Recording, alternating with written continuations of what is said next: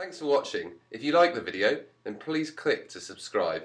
For more information on the printers and materials we've used in this video, visit dream3d.co.uk.